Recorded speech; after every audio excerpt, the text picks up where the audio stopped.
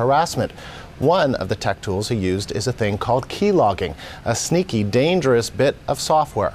Paul Ayatola. Ayafola is with Nerds for Hire, a mobile tech support company in Toronto, and he joins us now. So first of all, Paul, tell us a little bit about exactly what is keylogging.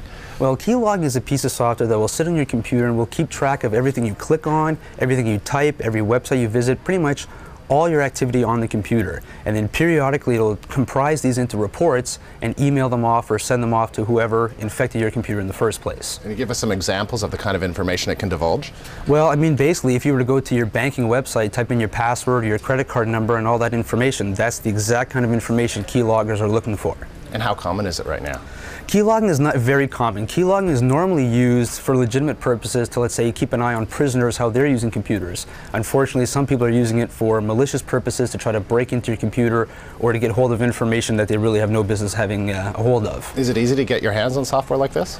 Well, see, there's lots of keylogging software out there, and as I said, a lot of them are legitimate. There are quite a few you can get that you can install on your kids' computers to make sure that they're not visiting certain types of websites, or if they're chatting a lot online, you can make sure they're not chatting with someone who may say that they're 15 years old and they're in fact 30. So there's a lot of legitimate uses for it, but unfortunately, as I said, some people are using them to get hold of information that they have no business having. How difficult is it to install?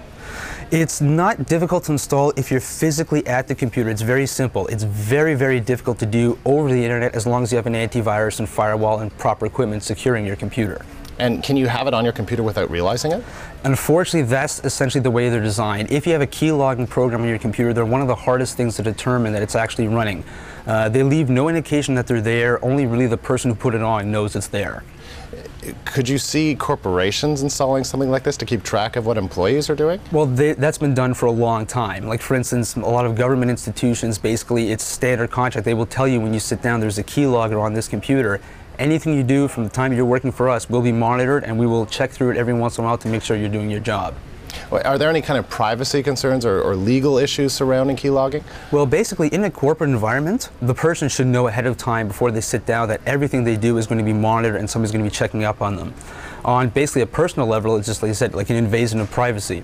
Uh, it's no different than you know peering through somebody's window or spying on somebody. It's the exact same thing. So if you were to balance them out, you were mentioning some of the good things that it's used for, some of the bad things that it's used for. Yeah. Uh, at the end of it, what, how does it come out? Is this a good piece of software or a bad piece of software more often than not? It's it's really hard to say. It's basically it's a tool. It's really more how it's used. I mean, for a parent who's protecting their children, I'm sure they really love it.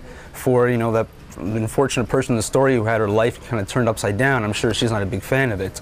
Um, normally, basically, I would say it's really just for kind of spying on people or things where you want a secure environment, you really want to know what's going on with your machines, that's where you use a keylogger. Do you expect this software to become more and more popular in the future?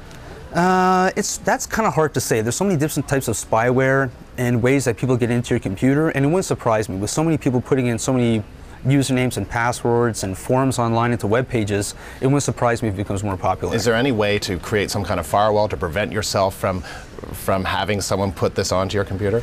Basically, all you can do is have an updated firewall, uh, an updated antivirus, and that's really some of the best things you can do. The only other thing you can do is have anti-spyware programs uh, that will check your computer regularly for any kind of malware or spyware that shouldn't be in there in the first place. All right, Paul, thanks very much for coming You're and welcome. telling us about this.